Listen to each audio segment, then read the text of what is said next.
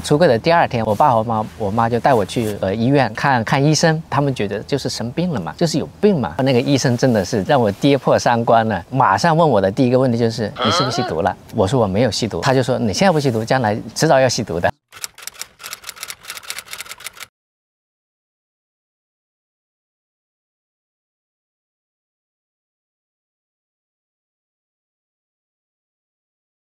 大家好，我叫文武，我是圣地亚哥州立大学的大学教授。呃，大家好，我叫金洛，我是一名软件工程师。然后我们俩是一对同性恋伴侣，嗯我们现在养育两个孩子，一个三岁，一个七个月。所以你们是之前来美国之前就认识的，是吧？对，我们是在北京认识的，哇，那大概是什么时候？那是零八年的时候，呃，零八年的四月十九号，四月十九号十几。年了。那我们就问的通俗一点，你们是从什么时候开始感觉到自己的性取向啊、是少数群体的？我应该是很自我有记事以来，我就隐隐约约觉得对长得好看的男孩子更感兴趣。嗯但是当时那个时候完全没有意识到说啊，这是一种同性恋。我是一直到了上大学的时候，我才知道哦，印证一下我过去的一些对长得好看的男生的这种吸引，然后我才知道哦，原来我就是所谓的同性恋。那时候上高中的时候，都是一门心思都是学习嘛，嗯而且我们俩都是在一个小地方长大的，所以也没有特别的接多的接触外界信息的这种渠道，所以我们就根本就没有听说过同性恋这个词。我也是到大学大二的时候买了电脑，上网多了起来以后才知道，OK 有同性恋这个词，嗯嗯。然后才意识到，慢慢慢慢的往自己身上印证，哦，我也是同性恋。我记得那时候高中的时候，初中、高中的时候也有喜欢我的女生，然后我记得高中的时候也跟那个女生牵过手，嗯那时候我就觉得，就好像湿湿的、软软的，嗯就没有任何感觉，没有任何心跳加速的这种感觉。同性恋这个东西，它没有到现在还没有一个定论，但是就是公认的是呃比较公认的说法是先天的成分更多，但是他没有找到一个确定的基因，说啊这个基因就是同性恋基因，就是可能很多基因共同相互作用，但是先天成分比较多，这个是一个比较公认的一个事实。嗯，比如说你在十来岁的时候，你感觉自己好像别的男生都喜欢女生，但是你们是男生，但是喜欢男生，有没有尝试跟身边比较哎亲密的朋友啊聊过这个事情呢？就我个人来说了，我完全没有，因为根本就不会往那方面去想。虽然对男生有好感，嗯哼，更喜欢看男生，但是就完全不觉得这可能是一种，哎，你可以，呃，像人家男朋友、女朋友那种关系，就完全不会有那种往往那方面去想。那其实我上，我记得我小时候我有尝试着想要去交女朋友啊，嗯就因为其他人也都在交女朋友，你就是随波逐流的那种，但是就没有任何感觉。现在回想起来没有任何感觉，但是当时好像还觉得啊，那我也可以交女朋友这种之类的，也想去尝试做这种事情，但是就完全没有感觉。而且性在中国也算一个比较比较含蓄、比较禁忌的一个话题，就是大家好像性教育，我觉得做的中国普遍做的好像也不是特别好，是，父母跟家长也不怎么谈这些东西，在学校里面也不怎么谈这些东西。那像我们这方面东西更不会去跟别人交流了。对，嗯嗯嗯。那你第一次跟别人提这个事情的时候，大概是多大的时候呢？可能是到大三、大四以后，彻底的我才明白，哦，原来我真的就是个同性恋。从那个时候开始，就开就去一些聊天网站，同性恋的嗯嗯聊天网站，然后想要去认识认识跟我一样的同性恋的人。嗯。但是这上大学到好像一直都没有真正的交男朋友，一直到了上研究生的时候，那都是到了二十三四岁以后才开始去真正的尝试想要交男朋友，所以我应该算是觉醒的非常缓慢的。我记得我第一次是跟我们跟我的一个同学，呃，上大学的时候有一个有个同学，然后我很喜欢他，然后我就向他表白了，我就说我喜欢男生，然后我喜欢你，然后我就跟他表白了，这是我第一次跟别人说起这件事情。然后之后陆陆续续的就跟一些要好的同学朋友，然后就我们叫出柜，其实，在同性恋这个圈子里面，你要说出柜，其实很多时候你是单指特指去向父母家人出柜。嗯，嗯，是。那对向父母家人出柜的时候，那肯定是一个非常非常重大的一件事情。呃，我的还是相对来讲顺利一些。那文武的就是一个非常非常戏剧性的一个事件了，就。二零二四年不可或缺的东西有哪些？除了衣食住行，你可能还需要 Surfshark VPN，因为它能助你畅游网络，拉近你和世界的距离。通过更改 IP 地址，任意切换国家地区，这样做至少有两大好处：一是地区版权限制自动消除，串流平台上的影视资源全部解锁；二是彻底打败价格歧视，帮你在网络消费时拿到最低价。如果你最在意的是浏览被政府封禁的网站，比如啊推特、油管之类的，那么你更需要 Surfshark，因为它能让你高枕无忧，靠的是军事级的加密技术，隐藏你在网上的一切踪迹，避免被老大哥追踪到。另外，这年头网络陷阱层出不穷啊，让人防不胜防。Surfshark 能提供全方位的保护。Surfshark 的强化版 Surfshark One，除了前面提到全部功能，还有三大特别功能：杀毒、搜索、警报。现在正值假期优惠，升级这个套装就送五个月免费使用期限。我把专属链接放在影片描述栏里，购买时记得输入 Rocky TV。最后温馨提示啊，中国定期打击和封锁 VPN，但是 Surfshark 会及时应对，并且有三十天退款保证。我是先跟我的朋友、同学出柜，然后之后我跟我的表姐，包括我的哥哥出柜，然后之后我又跟我的。两个姨，就是我妈妈的姐妹，跟他们出柜，然后最后我才跟我的爸妈来出柜。那个时候我基本已经有了出国的想法，然后我就觉得我已经想去追求自己想要的生活，想出国。在这之前，我要把这件事情解决了，我要跟父母告诉父母真实的我自己，我说我是什么样的人，我想过什么样的生活，所以我就决定了在二零一二年的十一跟他们出柜，然后那年的十一我就跟到我哥哥家，我刚好我爸妈在我哥哥家帮忙带孙子，然后我们一起去公园散步，然后就跟我爸妈说，我说妈，我有一件事情跟你说，然后他们就说啊是啊，你哥哥也告诉我了，你有什么重大的事情要跟我们说，是什么呀？然后我就说，我不喜欢女孩子，我喜欢男孩子。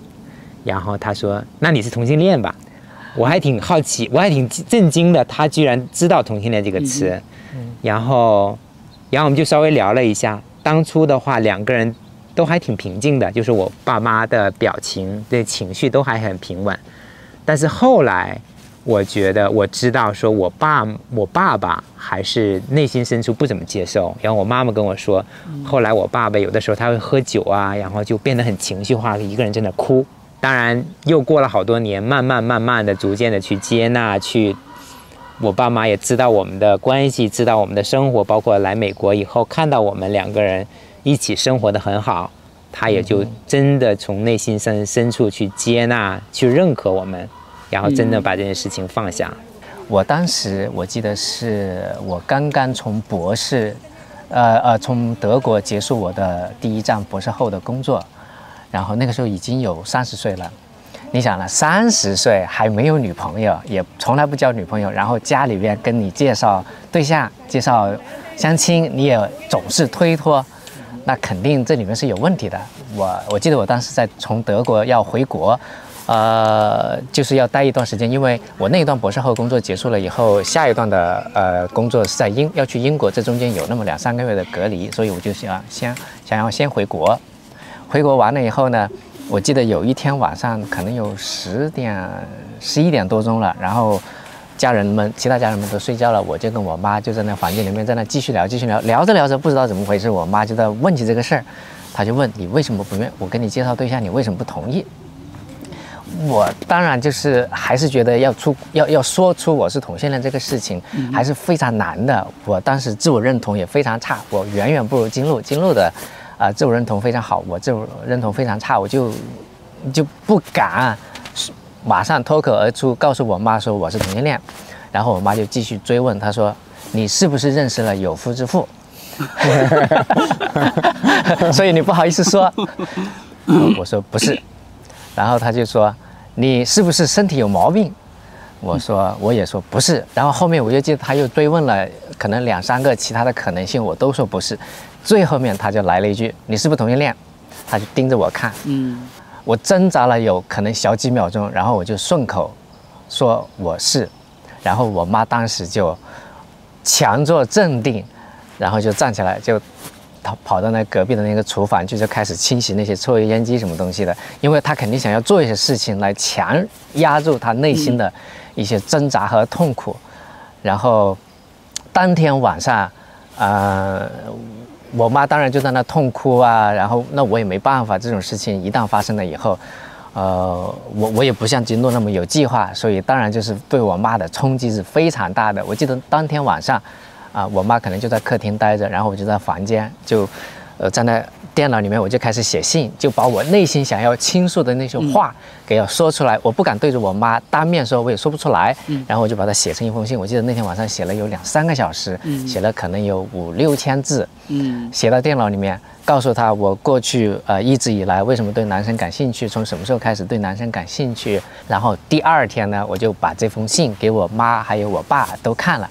然后我们就三个人抱头痛哭。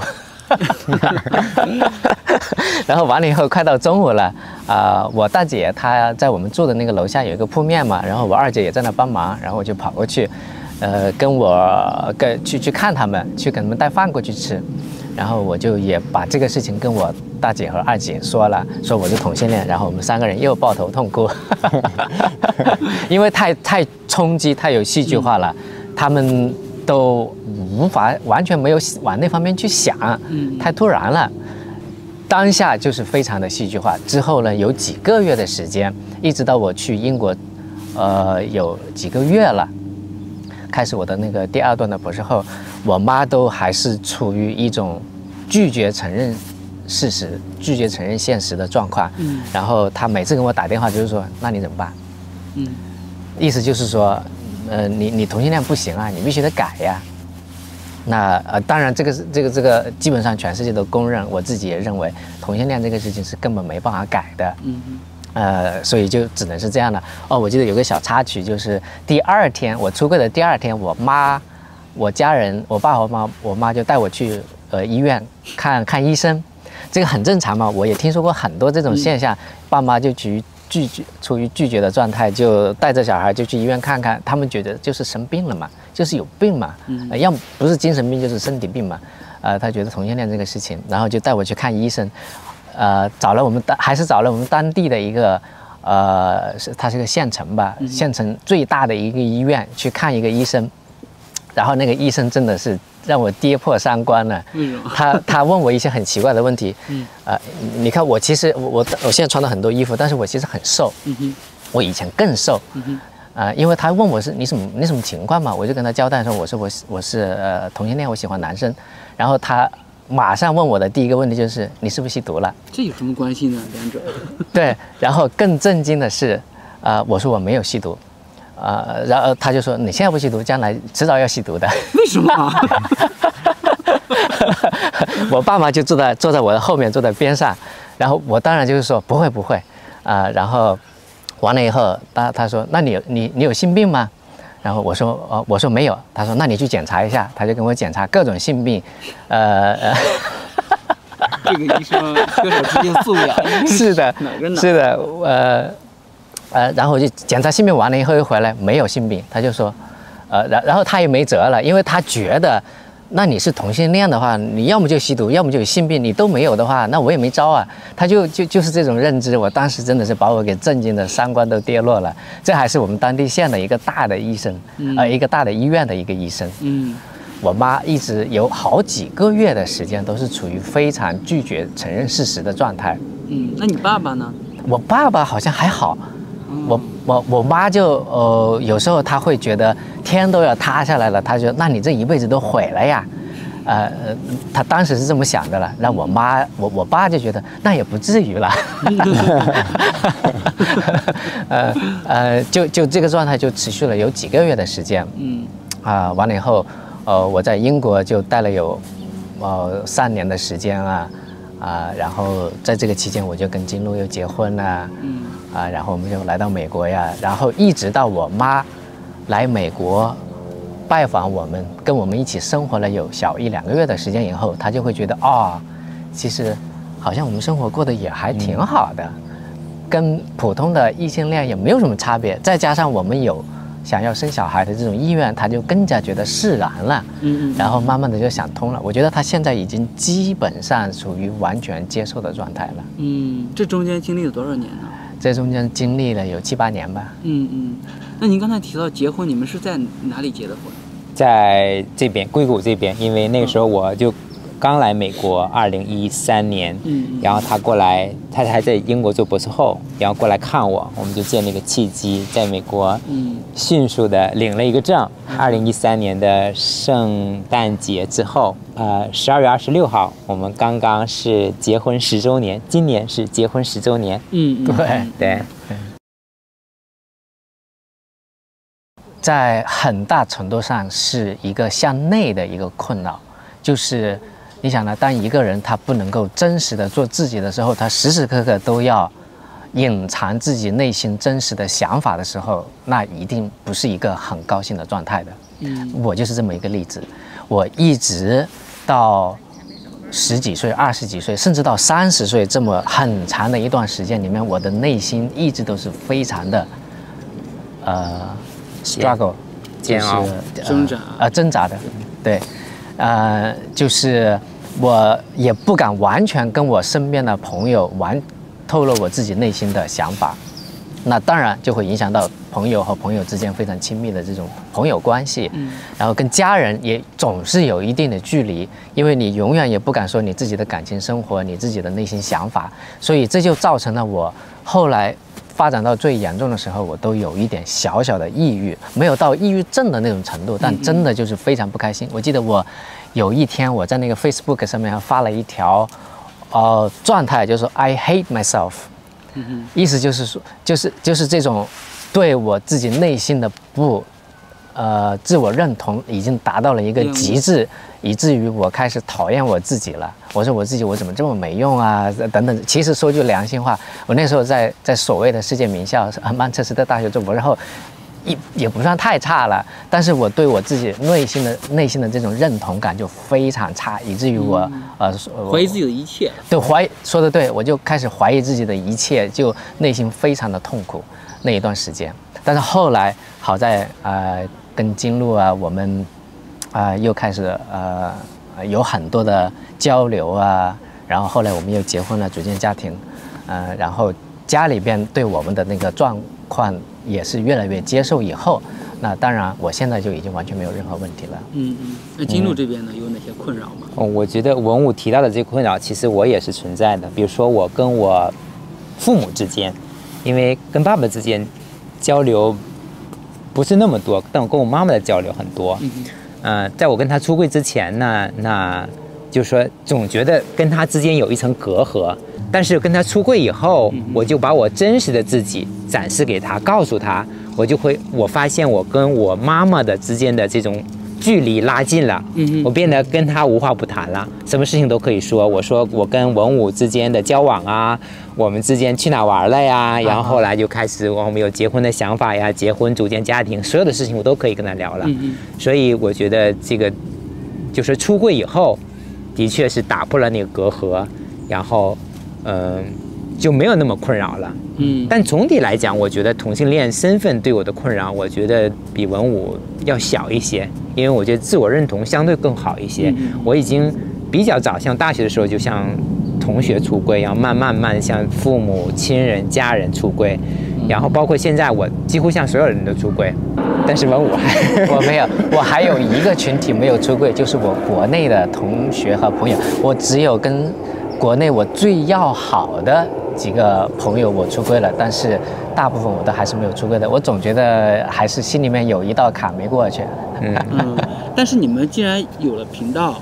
其实相当于向全世界出柜，是没有对直接跟他们出轨而已。对，但我们主要的频道还是 YouTube 嘛，就是还在外网，对对对，国内就是国内的人，除非可以隔一番墙才能看到。嗯就是你们如何突破同性恋身份带来的种种困扰？开始勇敢的追求爱情和婚姻的？我觉得就同性恋跟异性恋应该是同样的吧。就说作为异性恋，那你见到一个漂亮的女孩，你想看，你想去跟她交往；那作为同性恋呢，我们看到帅气的人就想去 跟他认识、跟他交往。那其实我们开始的过程也差不多吧，就是我们在一个朋友别哭的一个网站，我们一个同性交友的网站。我就看到了他的照片，哎，我觉得这个人很帅啊，那时候年轻。然后我就主动的去加他的 QQ，然后就开始聊天，然后说主动的说我们见面吧。然后那是二零零八年的四4月十九号四月十九号第一次聊天。天，五月十号第一次见面，嗯，然后我们就开始交往，开始了这段感情。后来就他去德国访问，德国做博士后，英国做博士后，我又来到美移民来到美国，前前后后有异地异国了五年的时间，哇，对，嗯很大的考验啊。对，很大的考验，我觉得已经差不多到极限了。但最终好在我们在美国都找到了这种机会，然后两个人能够在美国团聚。专门有一个词，这个叫 gaydar，什么东西？就 gaydar 就就是同性恋雷达这个意思。对，但是有些人有些人可能很敏感，我就完全没有这方面的呃敏感度。有一些人可能会觉得同性恋群体多多少少会有一点女性化，然后有一些就是同性恋群体可能更，这个男同性恋可能更爱美，可能更愿意打扮，嗯，所以你看到帅一点、打扮的好一点、说话有一点 有一点女性化的，你可能会会有那么一点感觉，觉得他可能会是同性恋，但但其实也不是特别准确。对，是不是这种能力越强，感知越强的人，他有可能他的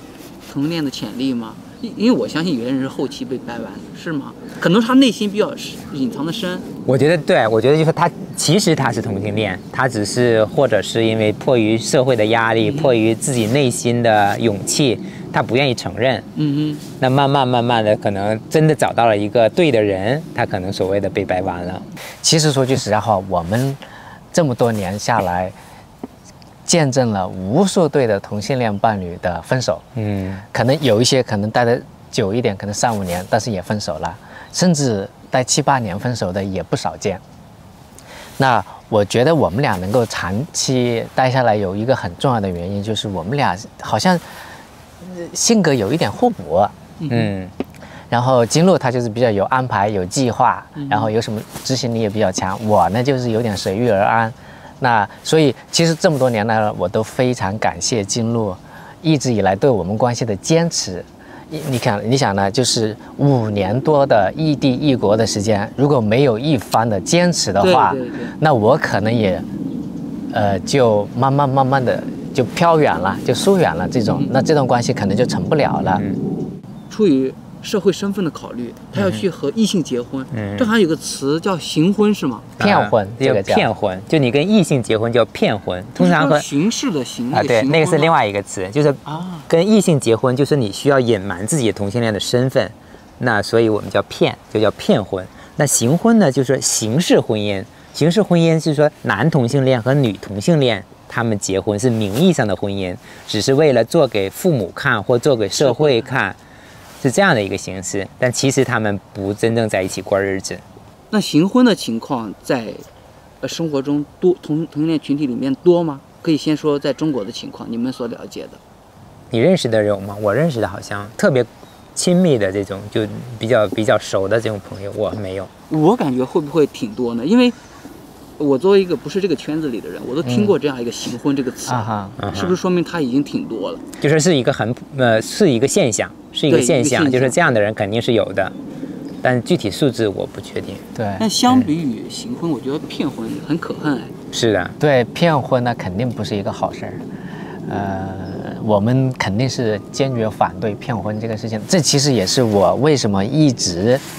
不非常挣扎，也不愿意去接受我母亲对我的这些介绍对象啊，然后考虑结婚这个事情呢。虽然那个时候金龙问我说我不确定啊，但其实是因为我自我认同非常不好，但是我内心深处还是不愿意去做这种事情的。因为你可以想象，假设我我有两个姐姐，假设我有个姐姐跟同性恋结婚了，那我肯定是极其不愿意的，这肯定是对对我姐是一个多么大的打击，可想而知对其他人都是一样的。中国这种社会，呃，或者是舆情的压力之下，很多人会不得不做出这样的事情。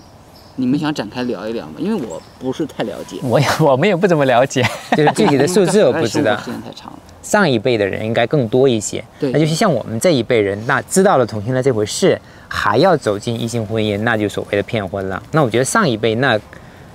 那一也不能辈就不知叫骗婚，不觉对，的，不知不觉的，也不能说是骗婚。对呀、上一辈你他也没得选择，可对能对嗯我我倒确实是有听说在网上。有一些人结了婚以后，就上一辈的那些人呢，他们结了婚以后，到了五六十岁了才知道自己是同性恋，也是因为这个互联网的这种发展。相对来讲有比较公认的一个数字是百分之五，就是整个人群有百分之五的同性恋。嗯那所以说，如果你有二十个朋友当中，就会有一个同性恋，对，就包括男同性恋和女同性恋。同性婚姻都合法化了，。对对，应该是荷兰是第一个，后来整个欧洲、美国、澳洲这种慢慢陆陆续续都合法了。就是在这些国家，嗯这个同性恋的接纳是最好的。然后其次呢，可能就是属于有一些亚洲国家，比如像台湾，对二零一九年这个同性婚姻也合法了，对对，应该是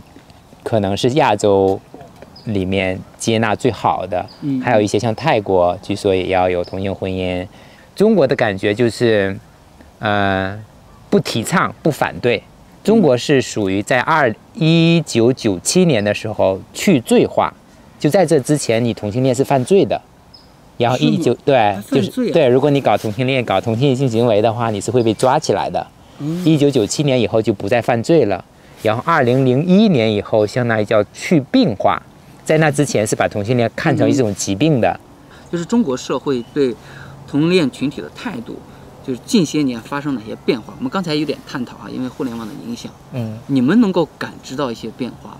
我的感觉就总体上来讲还是变得越来越好的。就像我刚才提到说，呃，你从去罪化，对吧？之前是犯罪，现现在不，后来不是犯罪了。去病化之前是一种疾病，后来不是疾病了。对，那后来特别是像，呃，比如说我们在国内